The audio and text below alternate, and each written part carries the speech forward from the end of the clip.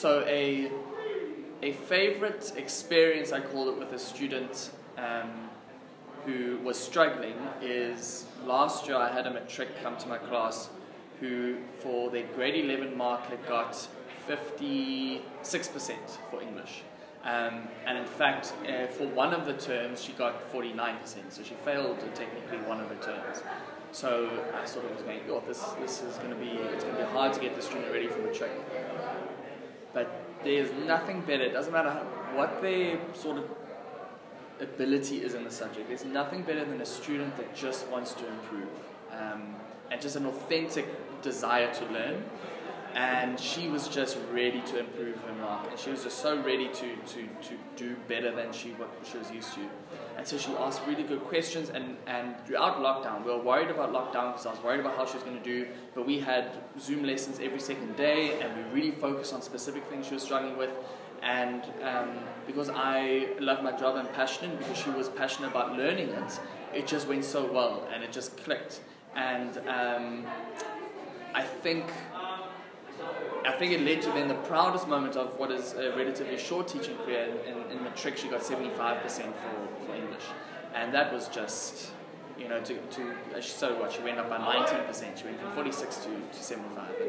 And, um, yeah, uh, I mean, that's pretty close to what I got for English. So uh, that was just, to see that pay off for her and just be able to go uh, uh, because forget forget English in my subject. What a lesson that is for her that she can she can do whatever she wants in life if she puts her mind to it and she's willing to give the time and energy. That she was in the in the mid fifties, having failed at one of the terms of grade eleven, and a year later got came this close to a distinction.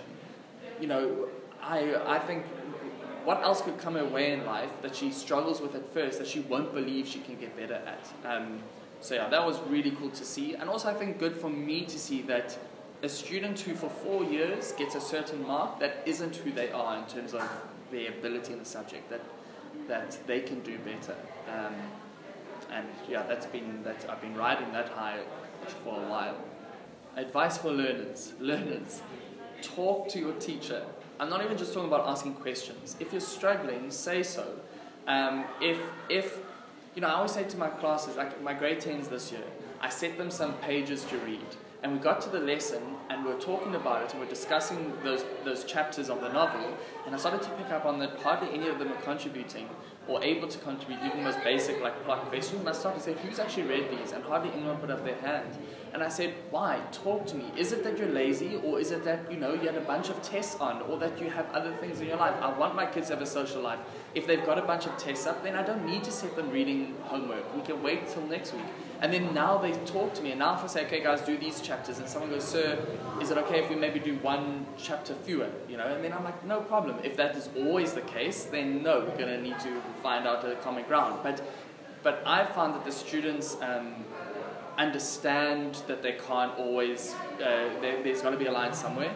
But just if, if, if, if a learner buys into that this is their time, and that this is their learning experience, and that I'm not just carrying all the heavy uh, material here, that they need to meet me, you know, 40% of the way. I'll meet them 60%, but I can't go further than that. And if they meet me there, not only does it make the, the uh, teacher's job significantly easier, but it makes the learner's experience so much better that they now have control over their own studying, which is what all any learner ever wants. Um, to feel like they are, are having a role to play in their education, no matter what age they are. Um, so talk to your teacher. Um, and teachers, to that point, create multiple avenues of communication then. So in my classroom, I always say, first prize, come talk to me in person at a break or after class. Make a time with me. Email me and say, so can we meet? If you're too shy, there's a box in my classroom where they can write something on a piece of paper and put it in there, either with their name or not and then I can re- I check the box at the end of each day, and it can be something as simple as sometimes it's just encouraging me on something I've been doing, or it can be like, "Sir, I didn't get this in class. I was too shy to ask. Can you repeat it in class tomorrow?" And then the third option is that they email me, and then I can I can respond to that. Um, so create multiple avenues for your kids to contact you and communicate with you, so that they because some kids feel comfortable asking questions in class, some feel comfortable talking to you directly, and some don't. So you need to create different ways for students to, to reach out to you. Um, but yeah, learners, talk to your teacher. Tell them where you're at so that they know how to adjust their teaching and, and you have a better experience. So I think I was standing out here and there's a whole bunch of chestnut trees. And I was sending a message to a student um, and just encouraging them. And you know, this particular student had, was, was very high achieving, was a leader in the classroom, and, um, but just like any, any teenager, was, was still trying to find out who they were and what kind of person they wanted to be. And I was getting the sense that um, they, they were maybe at times trying to, to be someone that they, that they just weren't designed to be or that they weren't meant to be. And I want to encourage them that the person that they were meant to be was good enough and that that person, and that they should embrace that. Um, and I think the, the example that I used was I was just, I was out here, so I just looked at the chestnut trees and I said, um, I, I pointed at the chestnut tree and I said, if this chestnut tree tried to grow up to be an acorn tree, it would be a very bad acorn tree. It would have the worst acorns ever, and it wouldn't look like the other uh, like the other acorn trees, and it wouldn't it wouldn't be a very good acorn tree, and that'd be a missed opportunity um, because it, it lived its whole life thinking it was bad at what it thought it was. If it had rather embraced the fact that it was a chestnut tree and then focus on being the best chestnut tree it could be, well, then it could be an amazing chestnut tree, and then its its its pos- its potential, you know, increases uh, exponentially. So I was encouraging him to, to embrace who he was because who he was was more than good enough, and that um, he will never be as good if he tries to, uh, uh, as good a person as he can be if he tries to be anyone else. Um, so just to live in that truth of who he is and, and to live it confidently and embrace it, I think is what my message was to him. My lessons change and adapt according to the people in the room. So just because a lesson works, and I learned this the hard way. you have a good lesson, you're like, okay, cool. So that works. I'll just do that every time. But but you know, it's not the space, it's not the content that makes a lesson successful. It's how are you you getting it across to the people receiving it. And I learned that yo, you can take the exact same lesson plan, the exact same style and approach and methodology change the people, even change one or two kids in the classroom, and you have a whole different lesson. So it's hard to get up here and just go, let me do a, a quick example of a lesson to an empty room because I, I feed off who, who they are. And that's why I found online teaching so difficult in lockdown because you're teaching to a screen and you're not getting that feedback. And I'm not then able to adjust accordingly how the lesson needs to be. So you know, you know, you spoke with Robbie Williams earlier. Sometimes a, with certain classes, I get up on the on the desk. You know, if I'm teaching Hamlet and it's the scene with the ghost, the ghost is hovering. So when I read the ghost lines, I stand on the desk and I read the ghost lines, and I move from desk to desk as I as I read it. But that's going to work with every matric class that I'll ever have. Some will look at that and go, "What is he doing?" Uh, and not and they won't work for them. So it's you know you've got to adjust it um, according to who's in front of you. So it's hard just to do an example lesson um, to an empty class. But I think that's an important lesson for maybe a new teacher or or, or um, someone considering to be a teacher. That it's it's the people that comes first, the students, not the content or the teaching plan. And you need to adjust according to who's in the room. I still go and observe other teachers. If I'm free, um, you know, my internship year, obviously I had to observe people. But even now, I'm a, I'm a full-time teacher, and if I'm free and I know there's someone teaching, I'll go ask, can I just observe your lesson? Because, you, you know, as a teacher, you always have to be learning. And so I can't think of a, of a line or like a, or a motivational quote that someone gave me but just, I've watched certain teachers countless times. Teachers that I've gone, this is the kind of teacher I want to be. But it's not even, you know, every teacher is unique. So I watch some teachers and I go, they do that really well. I'm going to take that on board into my teaching. I, it's not that they do that poorly, but that's not how I would do it. So I'm not going to take that. But go watch a range of teachers. And I've watched, there are certain teachers at, at my school that I go, that's the kind of teacher, or that's the way I want to teach. And so I go watch them regularly and I, I learn from them and I absorb what they do and I take everything in. Um, and I'm maybe even learning more than the kids are in the room. and then I can go back to my class and I can start implementing some of those things. So there's no there's no line or motivational quote, but just um, I've learned from mentors by watching them teach, um, and I still do today, and I hope that I will always do that. That one day I'll be 55 years old and I'll be sitting in a classroom with a younger teacher teaching and learning from them.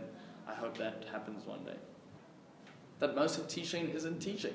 That most of teaching is preparing lessons and marking, especially in a subject like English, and um, you know, reflecting on lessons and, and meetings and admin and it, you know, uh, I, when I'm in the classroom, I'm teaching. That's obviously when I'm at my happiest in terms of my job, but it's not the majority of my of my work. And so, I think um, parents can sometimes forget that um, that, that that's the case and, and just assume that I just only am in the classroom, you know, just throwing out knowledge that I just have this infinite amount of.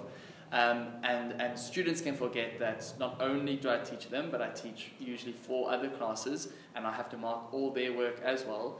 And not only that, but I need to spend time with my wife, and I need to take my dog for a walk, and now and then, if I'm lucky, I can see friends. So I think um, just, just to let that to realize that that when, when you when you criticize a teacher or when you when you if they're doing what they should be doing that when they do something in a class that wasn't just something that came to them in that moment that that was planned and that was thought through and that was something that they really wanted to work. And if it doesn't work to be gentle with them in that moment and and it, to let them know that it didn't work a student should uh, should go sir I, I, that didn't quite work for me. That's good. That needs to happen. But don't don't go about it as if you know that teacher wanted that to be the outcome. I, I know not every teacher in the world is a good teacher, but I don't think there's anyone who goes into a classroom wanting that lesson to be bad.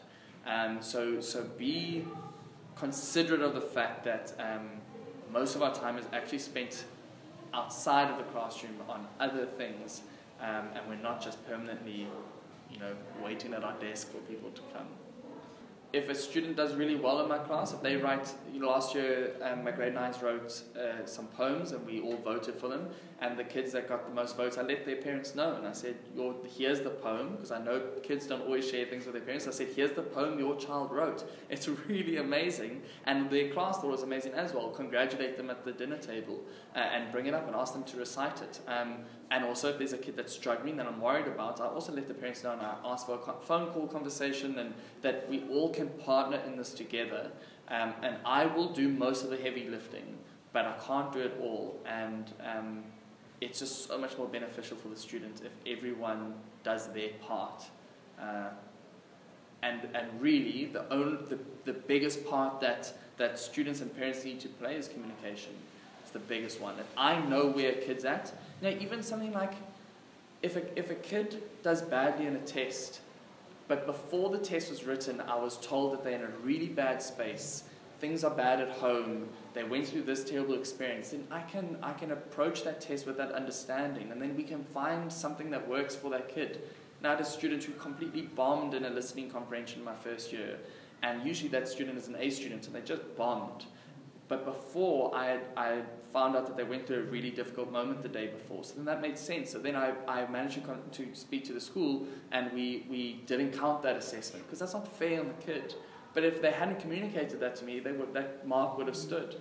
So just to understand that we're all human beings, all trying to figure this out, and we're just trying to get it to work the best way it can. But, but the best way it can work is if we all talk and we all communicate to each other.